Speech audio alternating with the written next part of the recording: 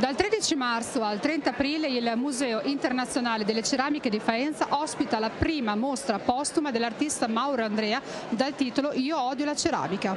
Questo titolo che può apparire strano, visto che la sede è il Museo Internazionale delle Ceramiche, un titolo questo, come questo può avere anche un sapore di provocazione, in realtà non lo è. Mauro Andrea. Mauro Andrea è stato un artista che ha iniziato a lavorare verso la fine degli anni 70 come grafico e come pittore eh, essenzialmente. Poi si è anche dedicato alla ceramica.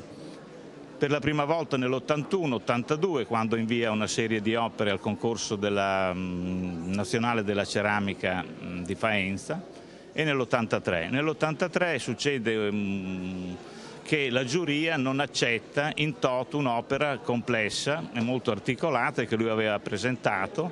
Si tratta di vari gruppi di figure che per la prima volta da allora sono state ricomposte oggi qui al Museo delle Ceramiche di Faenza e, la giuria si oppone alla presentazione totale dell'opera e gli chiede di presentare solo due pezzi di una composizione più complessa. Lui naturalmente rifiuta e coglie l'occasione per trasformare eh, questo atto di diniego in un fatto artistico, trasforma il tutto in una sorta di performance, ossia eh, accetta di, di, di, di, presentare solo due opere che vengono allestite al Palazzo delle Esposizioni, poi il giorno dell'inaugurazione si presenta con degli amici, mette sotto cielo fan le due opere, attacca al muro una, una foto, grande foto dell'opera completa, marchia il tutto con la sua etichetta di arte impura e diffonde un volantino dove ironicamente eh, ringrazia la giuria quel, del suo operato.